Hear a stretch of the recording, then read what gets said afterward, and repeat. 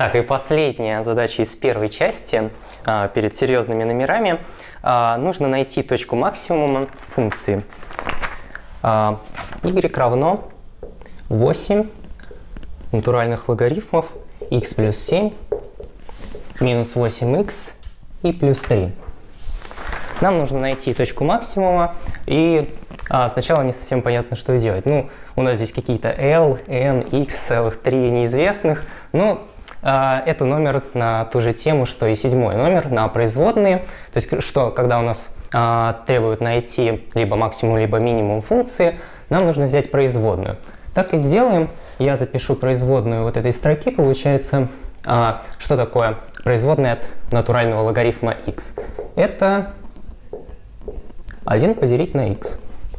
А здесь у нас а, x плюс 7.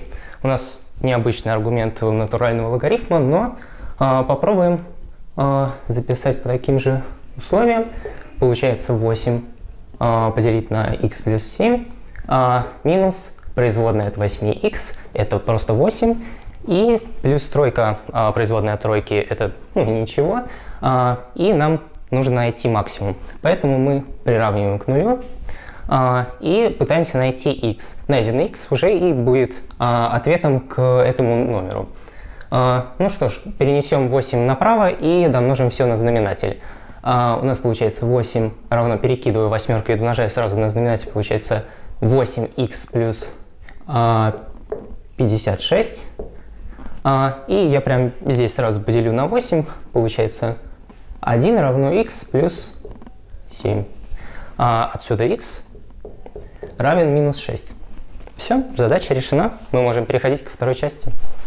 Здесь нам предстоит тригонометрическое уравнение, ну пункт А пока. Сделаем, предстоит тригонометрическое уравнение. Что-то мы видим синус в кубе x, косинус 2х, синус x. Вот что приходит в голову? Ну, так сразу сложно, наверное, сказать. А, ну, вообще, можно либо погруппировать, может быть, даже... Ну, хотя, давай, э, метод вспомогательного аргумента, наверное, нет, потому что обычно это приходит в голову, вот когда два синуса, два слагаемых. О, ну метод вспомогательного аргумента ты загнул, это такая из пушки по воробьям стрелять. Тут, конечно, смотри, э, синус, синус, косинус, нам бы все под одну переменную. Вот это вот у нас. Какой там вариант формулы возьмем? И разложить получается. Ну, с синусами, конечно. Ну да. Единица минус 2 синус квадрат x плюс синус x равно корень из двух. Но я думаю, лень двигатель прогресса, проще писать одну букву, чем четыре, поэтому ведем переменную t. Сделаем замену. Да, сделаем замену. Ну, аккуратно перепишем. То есть меня, конечно, как-то куб напрягает, потому что с кубом-то мы не особо умеем работать. То есть это не квадратное уравнение, которое мы всегда 100% доведем. Вот как, кстати, страх был на экзамене, когда видишь куб и понимаешь, что что-то здесь там э, может ну, Мне, нехорошее. куба не, не попадалось, но вот на пробниках, когда видишь куб, там уже вот посложнее, да, на ум приходят всякие страшные вещи. Ну, потому что либо тут что-то раскладывается, либо будет очень сложно что-то придумать. Ну, мы видим, что все за нас уже подумали. Корень из двух, корень из двух сократился. 2t куб. Yes. T квадрат плюс t равно нулю. t за скобку. А теперь как у нас звучит фраза «произведение равно нулю»? Продолжи.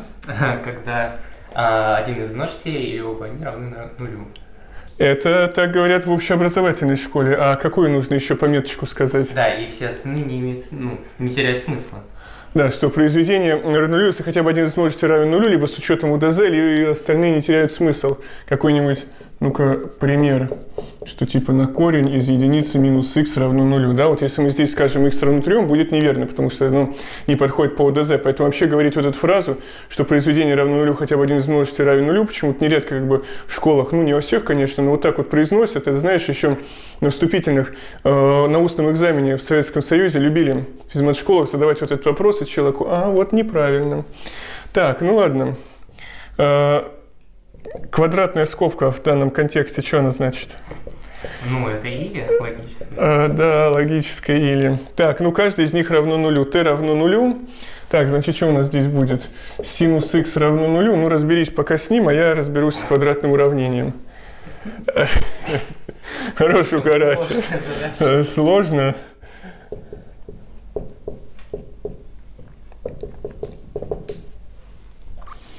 Так, что-то я опрометчиво так сказал. Надо было тебе дать квадратное уравнение, а самому синус х взять нулю. Ну да ладно. Что у нас здесь будет? 8 минус 8 равно нулю. Какая прелесть. Но на самом деле здесь можно увидеть, бы, да, что у нас а, полный квадрат здесь выделяется. Что можно сказать, это как корень из 2t в квадрате минус 2 на корень из 2t плюс 1 равно нулю. Ну, знаешь, как-то с корнями сразу полный квадрат не увиделся. Ну да и ладно, ничего страшного. Поняли, что дискриминант равен нулю. И тогда t не t1, 2, а просто t минус b, то есть 2 корня из 2 Плюс-минус корень из дискриминанта у нас нет, он нулевой, и делим на 2 на 4. Корень из 2 пополам. И смотри, получается как-то все хорошо. Знаешь, если здесь получилось корень из двух натрия, конечно, вполне возможно, да, возможно, что какой-то арксинус получается или еще что-то. Э, но все-таки вероятность мала, и надо перерешать, если получилось что-то гадкое. А здесь корень из двух пополам прям прекрасно оно и есть. Вот нужно быть бдительным. Если бы у нас, к примеру, какой-нибудь синус x получилось бы равно пи что про это сказать надо? А, это великая задача. Ну, нам надо помнить, что когда мы вводим замену t, а, мы помним, что t принадлежит от минус единицы до единицы, так как это синус ограниченная функция. И поэтому вот здесь вот нет решения, потому что π это чуть больше, там а, ну, либо сделаем, что это больше, чем 3 на 3, да, что там 3,14, даже напишем ну, вот так. решений, соответственно. О, да. Усиление неравенства еще такое красивое напишем. Ну, усиление неравенства это больше, конечно, про 19 задачу. Так, ну ладно, что у нас здесь получается? Корень из двух пополам. Раз, точка, два, точка, то есть x равно π на 4 плюс 2 pn. И x равно 3π на 4 плюс 2 pk где n и k принадлежат z. Обращаю твое внимание, в этом году за это не снималось, но вообще правило хорошего тона писать разные буквы, чтобы подчеркнуть независимость этих серий, поэтому всегда рекомендую их э, писать независимо, то есть э, различные буквы. Ну, собственно, переходим к пункту b. Можно, кстати, проверить корни, так же, как и с пятым номером, поставить mm-hmm. их в пример и убедиться, что действительно все подходит. А, когда получились правильные корни, можно, например, взять π на 4 и 3 π на 4 поставить, и должно получиться, вот, например, корень из двух, как здесь. Хорошее замечание, но знаешь, оно все-таки, мне кажется, несколько спорным. Процесс подстановки тяжелый. Еще здесь удвоение, куб возводить. То есть, по мне, лучше заново перерешать через какое-то время. Тяжело подставлять, так грузно. Да. И плюс еще, ну еще, смотри, здесь велика опасность, что мы ошибемся не только в нахождении корня, а какой-то из корней потеряем. То есть, еще, так как корней много, то, что мы нашли, оно работает, это еще не факт. Может, мы еще что-то не нашли. Поэтому тут такой спорный вопрос, но, в принципе, да, почему нет, тоже как, да, как один способ как один из способов проверки, особенно когда вроде все сделал и остается время, то что бы не поупражняться. Ну или других способов сразу не видно. Так, решаем пункт Б.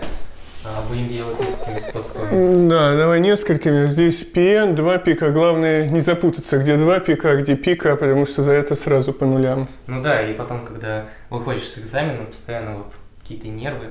И всегда кажется, что что-то вот забыл, что-то не написал, поэтому очень важно прям вот акцентировать свое внимание, что ты пишешь, и пытаться всегда вот до мелочей проверять свой результат, может, ну, вот даже промежуточный. Какой совет? Вот знаешь, мне кажется, что здесь, наверное, как на войне, инстинкт начинает работать. То есть, если ты много примеров нарешал, то уже ты в автопилоте, ну, как да, бы... Да, то есть, э, чем больше примеров решено, конечно, вот тем больше опыта, на что обращать нужно внимание, и, возможно, вот ну, появляется какое-то чутье на ошибки, то есть э, всегда понятно, откуда ждать удар следующий.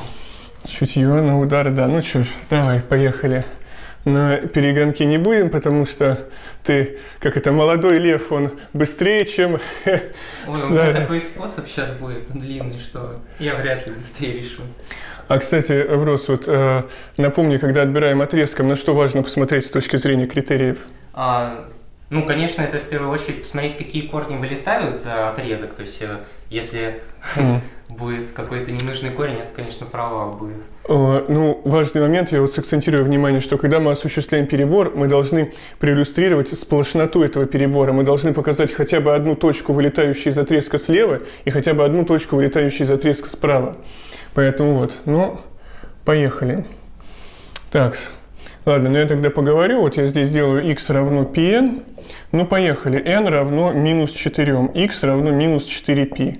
Мимо. n равно минус 3. x равно тогда минус 3p. Попали. Вот важный момент, вводи в кружочек, чтобы потом, когда будем собирать правильные ответы, надо же записать ответ, двоеточие, те, которые подходят. Так, n равно минус 2, получается тогда x равно минус 2π. С краю, но попали. Да, вот здесь может показаться, что n равно минус 1 писать не надо. Ну, типа и так очевидно. Нет, надо, иначе по критериям не проиллюстрирована сплошнота перебора. Обидно получить 0, когда за номер, когда ты полностью понимаешь, как его делать. x равно минус π мимо. То есть вот эта серия дала нам два ответа. Окей, посмотрим вторую серию. x равно π на 4 плюс 2 пк. Ну давай опять же возьмем k равно минус 2, тогда x равно что такое π на 4 минус 4π. Ну то есть 1 четвертая минус 4, что это будет минус 3,3 четвертых.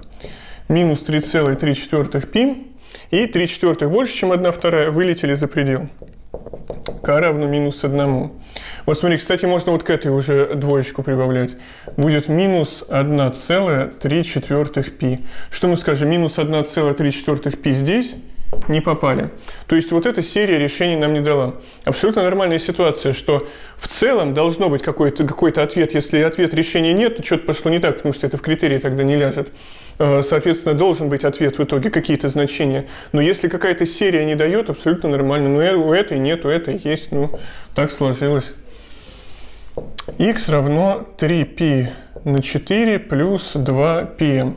Отмечу, что сейчас по критериям можно писать везде одну букву, но это такое все-таки допущение, такая определенная уступка э, перед ну, в пользу ученика перед вот такой все-таки математической строгостью. Поэтому э, что будет впредь? нельзя сказать на 100%, поэтому вот я очень рекомендую разные буквы сохранять, что все-таки ну, это более математически грамотное. Так, 3π на 4, значит, что мы сделаем? x равно, Здесь придется брать минус 3. Тогда, вернее, m равно минус 3, а x тогда равно минус 6. Что это будет? Минус 5,1 четвертая π. Мимо. m равно минус 2. Что это будет? x равно минус 3,1 четвертая π. Попали m равно минус 1, x равно минус 1,1 пи мимо. Так, ну, собственно, все. Вот мы получили три точки. Получается минус 2π, точка запятой минус 3π, минус 3,1 четвертая π. Вот. Так что вот, дело сделано. Вот будь, кстати, аккуратен. Вот критерии в плане вычислений. Вот знаешь, даже такая ситуация, что если вот здесь ты посчитал неправильно, и этот корень все равно битый, то есть он не подходит и посчитан неправильно, и даже неправильно посчитан не подходит, все равно ноль, вот здесь вычислительная ошибка. Тут, когда пункт однобальный, э, не может быть никакой вариативности, либо 0, либо 1. Ну вот мы получили, соответственно, ответ. Так, что там у нас с неравенством? Да, вот с неравенствами подальше получается, ну я здесь расписываю примерно, как это происходит. То есть а, мы заключаем а, нашу серию между нашими ограничениями, то есть минус 3,5π и минус 2π. Вот, а, делаю некоторые действия, чтобы привести вот к такому виду, где у нас получается просто n, заключенное между двумя какими-то числами, и отсюда уже нетрудно будет понабрать каких-то корней.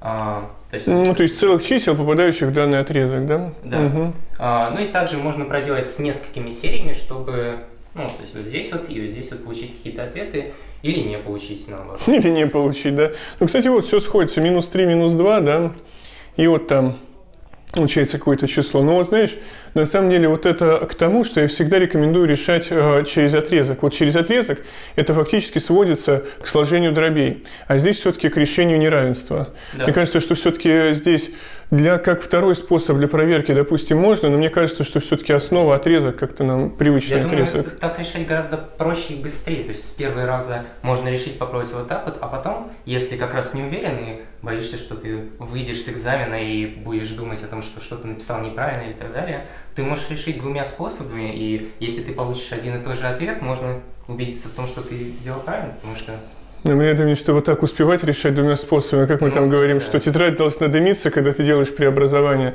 То есть, ну вот, согласись по-хорошему, что вот, ну, действительно, писать ЕГЭ, такого номера плана 13, ты просто должен, скорость решения ограничена скоростью написания. То есть, да, как бы... нужно стараться прийти к тому, что, а, когда видишь пример, уже примерно сразу понимаешь, как вот надо построить решение, чтобы ну, время в основном уходило на то, чтобы расписать и оформить все как нужно.